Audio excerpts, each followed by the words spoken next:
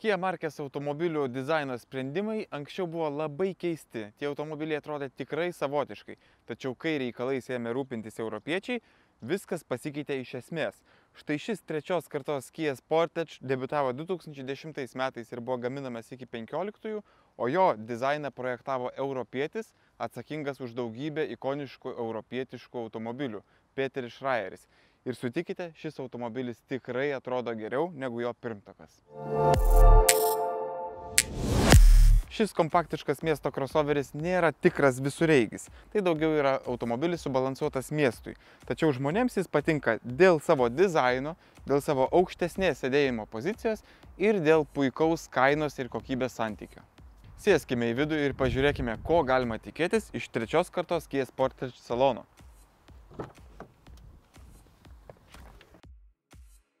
Trečios kartos Kia Sportage siūlo erdvų ir labai praktišką saloną. Tačiau apie viską nuo pradžių. Medžiagų kokybė yra tikrai nebloga, plastikai neatrodo labai pigiai ir nesijaučia pigiai. Taip pat surinkimo kokybė atrodo tvirta ir netgi stipriau pajudinus šio automobilio detalės, jos nei kiek tarpusavyje nejuda. Sėdėjimo pozicija yra labai patogi, tačiau automobilio salonas yra labai praktiškas ir tikrai rasite kur pasidėti savo daiktus. Tai štai vandens buteliuką galite lengvai įsidėti durų kišenės arba į štai čia esančius podelių laikiklius, taip pat į šią daiktadėžę, kur yra vietos jūsų asmeniniams daiktams, tai pavyzdžiui piniginiai arba štai raktai tokiame papildomame stalčiuke. O savo mobilų telefoną galite pasidėti į šią vietą šalia pavarų perjungimo svirties, kur bus tikrai patogu jį pasimti esant kritiniam momentui. Taip pat yra ir pakankamai erdvi pagrindinė daiktadėžė, kur galėsite ne tik įdėti savo gėrimą, bet dar ir jį atšaldyti. Pagrindinių prietaisų išdėstymas bei funkcijų valdymas šiame automobilyje iš tikrųjų primena kai kuriuos Audi modelius. Štai mes turime labai aiškiai raudonai bei baltai apšviestą prietaisų skidelį, klimato kontrolės valdymas yra taip pat labai aiškus, paprastas, lengvai suprantamas. To galėtų pasimokyti kai kurie kiti gamintojai. Na, o visos esminės funkcijos valdosi taip paprastai ir racionaliai, kaip ir tikėtųsi paprastas vairuotojas. Trečios kartos Kia Sportage'as valdosi labai paprastai, nieko stebuklingo iš jo nereikia tikėtis, visgi tai yra miesto crossoveris, o ne koks vikrus hatchbackas. Jo pakaba nesunkiai sugeria kelio neligumus, tačiau reikia atkreipti dėmesį, kad komfortiškesni yra tie automobiliai, kurie pauti aukštesnėmis padangomis. Važiuojant lietai, atrodo, viskas šiame automobilyje yra labai gerai, labai tylu ir nieks nekelia jokių rūpeščių. Tačiau truputį įsibėgėjus pradeda girdėtis padangų keliamas triukšmas. Nors ir variklis girdimas vidutiniškai, tačiau įsibėgėjus iki didesnio greičio labai gerai girdisi kaip užia ratai. Automobilis iš tikrųjų turi tikrai gerą matomumą visomis kryptimis ir štai atvažiavęs pasistatyti automobilio, aš galiu įsijungti atbulinę pavarą. Man iškart šioje vietoje įsijungia galinio vaizdo kamera ir aš puikiai matau, kaip pasistatyti patogiai automobilį. Galinio vaizdo veidrodėliai yra pakankamai dideli, todėl tikrai pravers tiems, kurie nori gero matomumo. Visomis kryptimis vaizdas matosi puikiai, taip pat jeigu jums stipriai iš priekio šviečia saulė, galite ne tik nusileisti šitos, bet ir ištraukti štai tokias detalės, kurios užstos pro plyšius bandančią patekti saulę.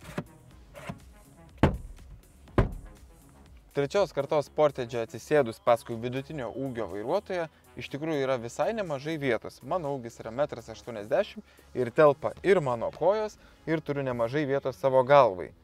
Negana to, kadangi galiu pakišti kojas po pilnai nuleistą sėdynę, reiškia, kad prisispaudžia prie sėdynės mano apatinė šlaunies dalis ir ilgesnėje kelionėje aš nepavargsiu. Taip pat galiu atsisėsti ir į šią vietą. Čia yra labai mažas transmisijos tunelis, bet iš bėdos kelionėje šiuo automobiliu galima keliauti ir penkiese. Durise yra vietos jūsų mažam vandens buteliukui, taip pat jis telpa ir čia esančiose puodelių laikikliuose, tad ilgesnėje kelionėje keturiese bus tikrai patogu keliauti.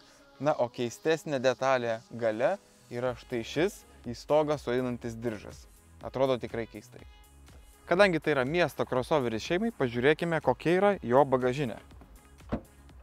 Vietos iš tikrųjų yra tikrai daug, tiesa pati bagažinė yra aukšta. Norėdami įdėti sunkius krovinius, sunkius daiktus, turėsite juos gana aukštai iškelti ir tik tais tada pastatyti čia. Bagažinė yra ir viena kompaktiška dėtuvė papildomiems jūsų daiktams. Taip pat galite atversti šias grindis ir štai su šitokiu kabliuku juos užkabinti.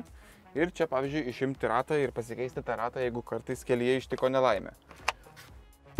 Taip pat, jeigu nulenksime sėdynės, pastebėsime, kad gauname beveik lygias grindis. Jeigu ieškote automobilio, kurį būtų paprasta ir patogu vairuoti mieste, taip pat kuriame lengvai tilptų ne tik keleiviai, bet ir jūsų asmeniniai daiktai, bei kuris nestipriai nuvertėtų per kelių metų laikotarpį, pagalvokite apie trečios kartos Kia Sportage. Net rinkdamėsi naudotą tokį automobilį, tikėtina, kad rasite nepasibaigusią 7 metų garantiją.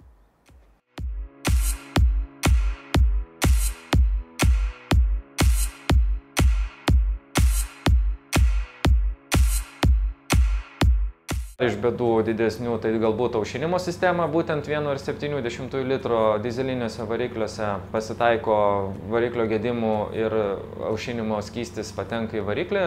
Remontas taip, taip pat yra nepigus. Kalbant apie 2 litrų dizelinį variklį. Na, jie yra galingesni, galima juos surasti taip pat su 4 ratų pavarų sistema. Iš, iš variklio pusės tai turbūt tos pačios bėdos, purkštukai, DPF, kietųjų dalelių filtrai, taip vadinami.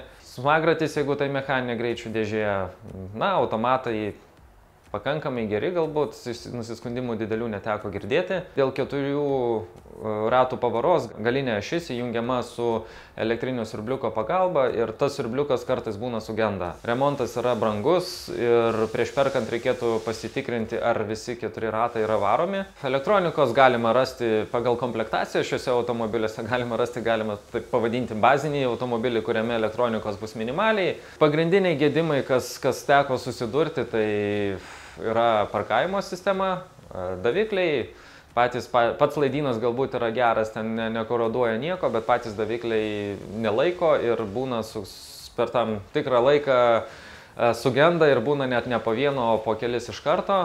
Na ir galinė vaizdo kamera galbūt reikėtų iš tokių svarbesnių dalykų atkreipti dėmesį, kad prieš perkant pasižiūrėti ar jungus atbulinį bėgį, vaizdo kamera, jeigu yra tokia sumontuota, jinai veikia tinkamai.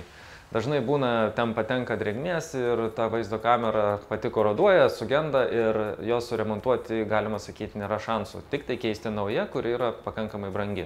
Šių automobilių lėti ratai mėgsta koroduoti, ratlankiai būna apsilupę, dažnai net ir pakankamai naujo automobilio, tai nieko važiavimui įtakos neturi, tačiau estetinis vaizdas yra tikrai atkreipiamas dėmesio ir, ir reikėtų pasižiūrėti, ar, ar jums tai nekrius į akį.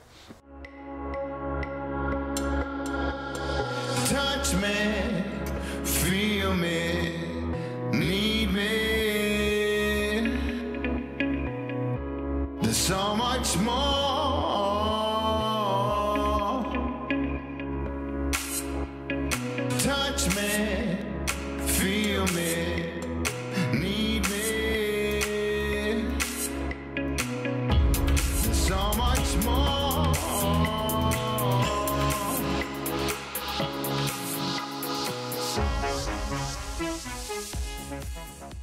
Jeigu norite peržiūrėti daugiau naudotų automobilių apžvalgų, būtinai užsukite į autoplius.lt YouTube kanalą ir jį prenumeruokite.